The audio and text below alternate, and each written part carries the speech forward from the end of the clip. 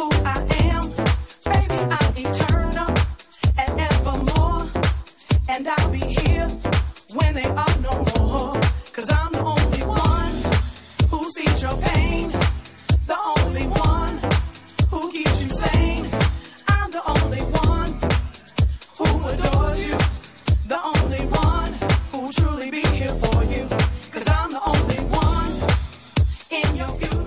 Satisfação, não poderia ser diferente. Nós estamos abrindo aqui mais um bloco do nosso programa no Café da La Musique, aqui no Guarujá, né, lá do Fábio Fronteirota.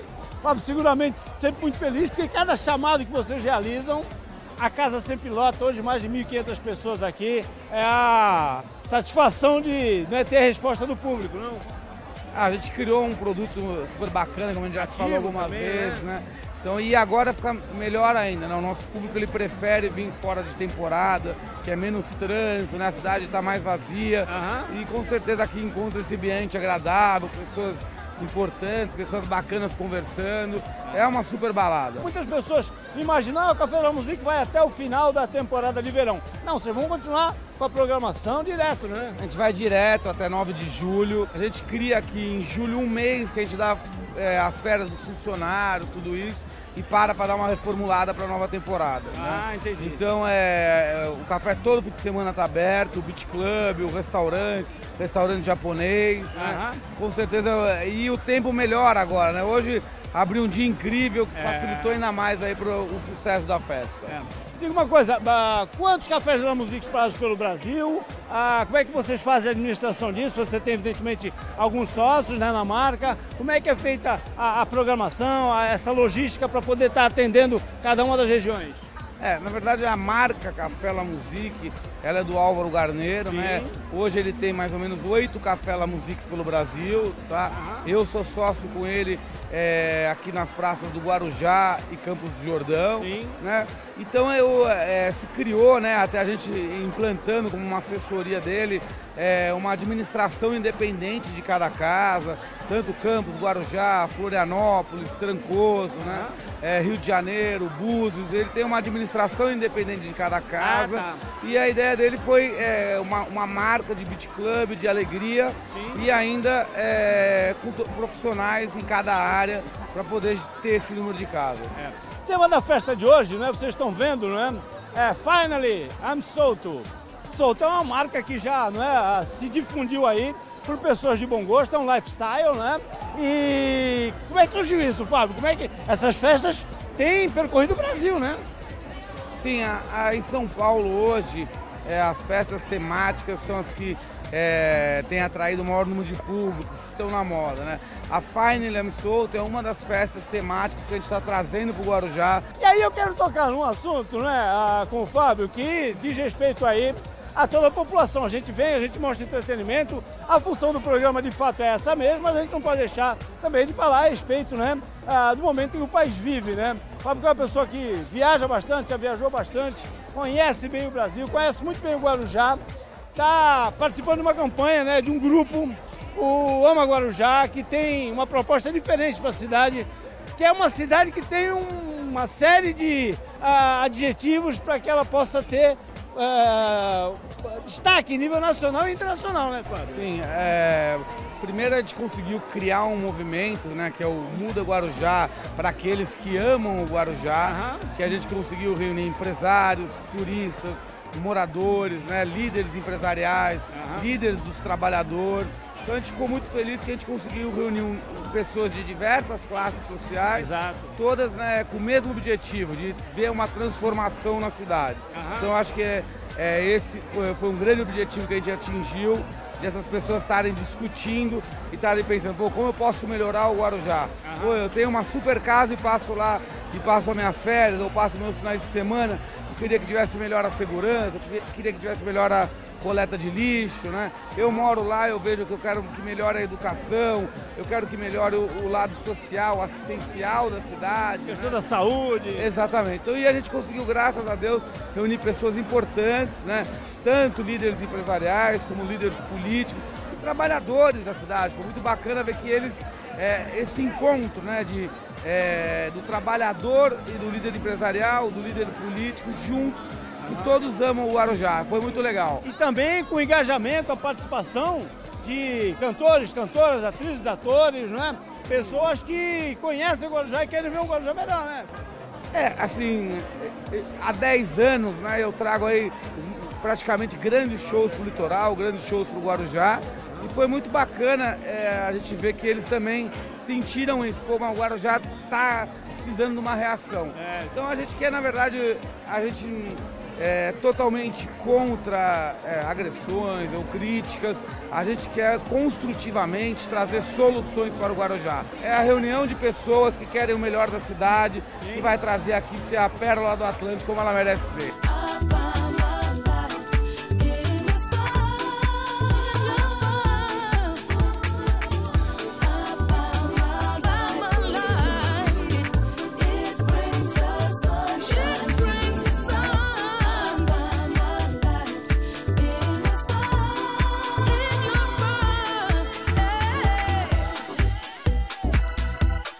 Vamos falar com quem entende do assunto, né? Porque para realizar uma balada dessa, para realizar tantos shows como acontecem aqui no Café da Musique, precisa de muita gente competente para organizar, para manter a logística, manter a, a, a, ordem dentro, né? Estou aqui ao lado do Fábio Santos, que é o gerente aqui do Café da Musique do Guarujá, e do nosso Daniel Nascimento, que é gerente do Café da Musique lá de Florianópolis. Os dois estavam aqui discutindo qual que é mais agitado, qual que dá mais trabalho, mas é mais ou menos a mesma coisa. O público que frequenta a marca Café da Musique é um público selecionado e que é, vem para se divertir, vem com o espírito de entretenimento à flor da pele, né?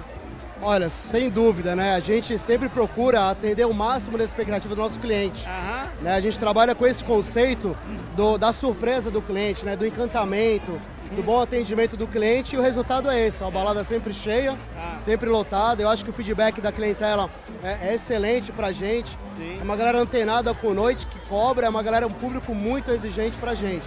Então tem sido um ótimo resultado, é uma parceria boa.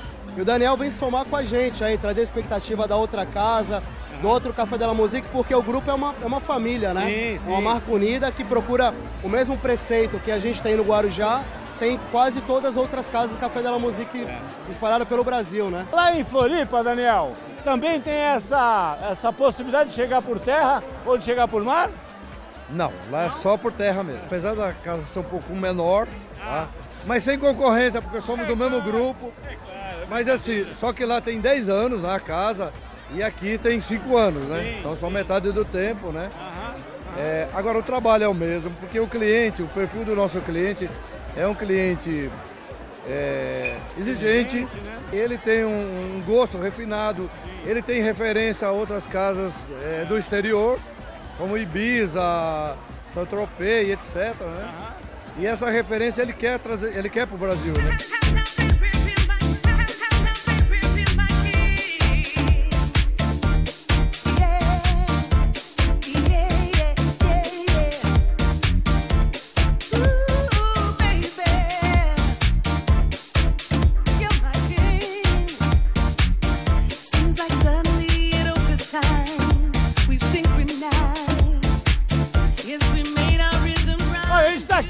Habitat dele, né? O Márcio Barbuí, muito habituado, né? Com esse tipo de festa, não só aqui ah, no Brasil, mas fora dele também.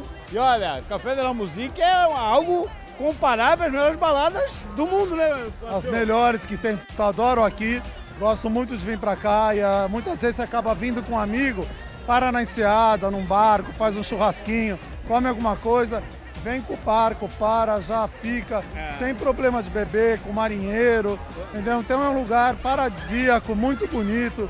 Pra mim é uma das melhores casas do Brasil. Que legal, e olha, ah, com um volume, um contingente de pessoas bonitas das mais variadas faixas etárias, impressionante, né, Márcio? Parece que é pré-requisito. É, esses condomínios que tem aqui, o Sítio São Pedro, o outro que é a Praia do Iporanga, Tijucopava, toda essa galera bonita acaba frequentando, Pedro. E mesmo muita gente de Santos vem pra cá, do Guarujá. Então é um lugar que te levanta a alma, faz, te faz bem ao espírito. E essa semana que foi tão conturbada politicamente, eu falei, eu vou pro Casa Grande, vou pegar o Fábio e vou pro Café de la Musique. Márcio, me diga uma coisa. A gente sabe que o Fábio né, é uma pessoa apaixonada aqui pelo Guarujá. Fábio Fronterota, que é um dos responsáveis aqui por essa balada né, e por tantos outros eventos que acontecem aqui no Guarujá e está doando um pouco aí dessa experiência dele, do conhecimento que ele tem para tentar melhorar um pouco a situação da, do município. Né? Então, Pedro, se você me permitir, eu acho que o sistema de política que é aplicada no Brasil, ela já já não já está desgastada. Hoje não é mais a questão do partido X, Y ou Z. Na realidade, aquela política de favorecimento já não rola mais. Aham. Eu fiz três campanhas políticas na minha vida. Eu fiz para o Antônio Hermílio quando saiu candidato ao governo do estado. Eu fiz para o Marlaíno e agora vou estou ajudando o Fábio nesse movimento Muda Guarujá, Ama Guarujá, tá? Porque que é, a intenção dele é mudar essa, a- fazer algumas benfeitorias para a cidade.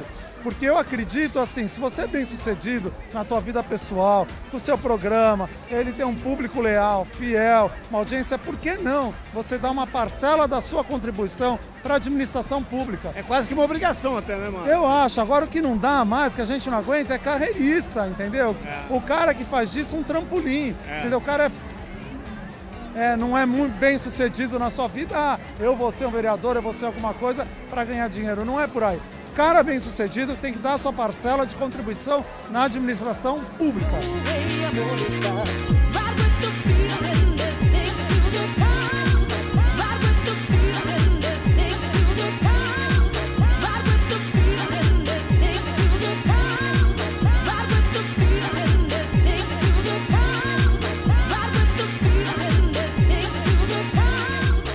Nós temos uma parceria com o café já há alguns anos. O café foi uma das primeiras que nós fizemos.